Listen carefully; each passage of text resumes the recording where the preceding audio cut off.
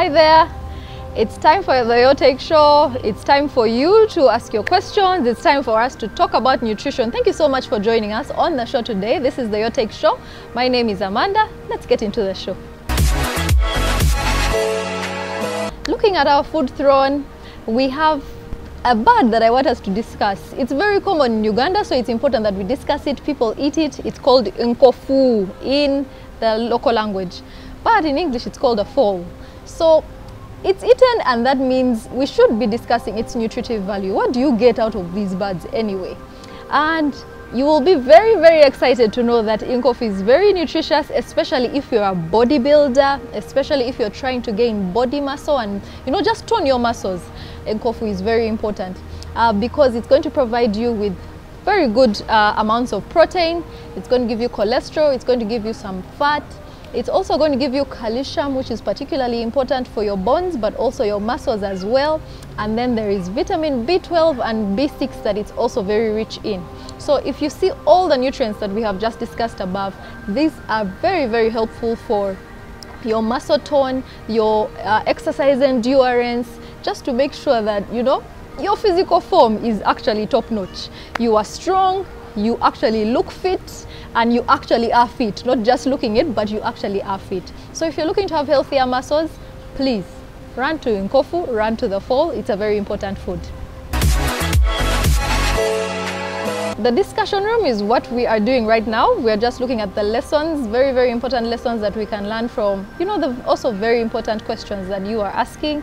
That means you also need to ask your question if you haven't asked. That means you also need to give in your feedback if you haven't yet done that. And you can do that by just connecting with us on our social media platforms. The first being on WhatsApp, that's the, on the number 0782152610. Let me repeat that for you, 0782152610. And then on Instagram, my handle is Food Witness. On Facebook, there's a very, very vibrant Facebook page. Um, the name is Amanda Twebaze, the Dash Nutritionist. And also, I do a lot of health content that I do post down on um, YouTube. So head down there and also, you know, follow the content, binge watch, subscribe as well, join the family. Uh, the paid the channel name is Amanda Twebaze, a Dash Nutritionist. Now that we're done with that, let's get into our first question coming in from Peter. Peter says, I have a problem of too much gas it happens frequently. I expel a lot of gas per day. What can I do? So gas can also be, you know, it could also be a sign of you having a food intolerance, like you are intolerant to a particular food or you probably are allergic to a particular food and you don't even know it. So you might want to you know, just start keeping a diary so that you understand after which foods exactly do I get this kind of gas, when is it more, and what do I eat frequently? Maybe that's what's bringing on this kind of gas and making me you know, be intolerant to this particular food. So it could be also a sign of intolerance. It's not just that, you know, I have gas, I have gas. So look into that as well. But on the Facebook page, we'll talk about this uh, even more, maybe uh, more of the causes of this kind of gas. Second question is coming in from so many people. It's such a, uh, a blower. It's coming in from Ahabwe, it's coming in from Shanishan, it's coming in from Humaira. And the question is, what foods can I use to stop pimples and black spots on the body. It's going to be very important to have foods that have antimicrobial properties, you know, so they are fighting germs, you know, they are fighting um, uh, bacteria that may be causing this, you know, inflammation that is actually popping out as you know the pimples and also even to make it worse the black spots. So you want to have things that work against you know the bacteria that make uh, skin health worse um, so look out for those particular foods, you know, that are uh, antibacterial like ginger. If you even notice that, you know, on soaps that they usually provide for our skin, their selling point is usually, or bathing soap, their selling point is usually uh, antibacterial soap because that is very important for your skin to clean it and, you know, just get rid of any toxic material, toxic organisms on your skin. But in terms of food, you might want to look at things like garlic, you know, look at things like very bright colored foods, you know, like chili as well, you know, like turmeric. Those are really uh, good ones. And also before you put anything on your skin, please do a patch test, you know, maybe do it on another part of your, of your body so that you see how your body reacts to it. And then you can either use it or not use it and try something else. Shadrach is asking, what is the main cause of ulcers?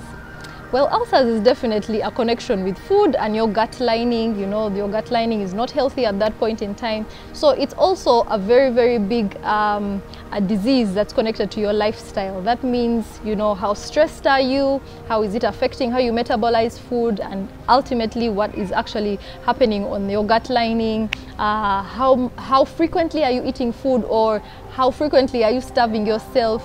You know, um, is the food you're eating actually clean or is it infected with H. pylori, you know? So it's a lifestyle disease. How clean are you with your food? How, how, how safe is your food, in other words?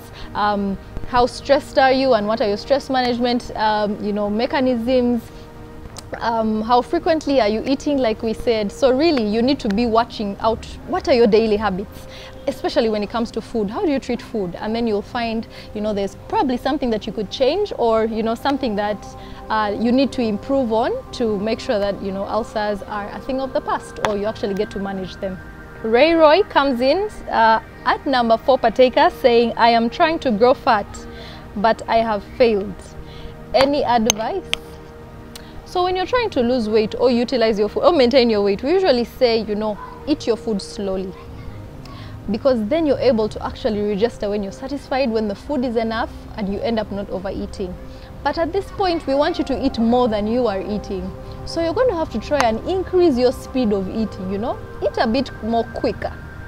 That doesn't mean become such a, a road runner when it comes to food on your plate because at the end of the day you will also get some other problems like you might get bloating and gas you might get you know reflux uh, because of that so you might want to make sure that yes you are eating you know quickly but not too speedily as well because that would help you eat in a bit more and you'll find that it's helping you to actually gain some weight. Of course, there definitely are very many other ways that you know you need to also focus on to be able to gain weight and we'll put that down on the Facebook page.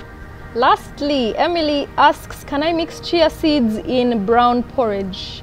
Yes, of course you can. Chia seeds actually are mixed in so many fluids in terms of our menus. You know, people put them in water, some people put them in tea, others put them in their smoothies. So definitely you can also put it in a porridge, um, but you might want to know before you do that that chia seeds absorb a lot of water when they you know get mixed in um, a fluid or in water so you'll have a very thick a thicker fluid.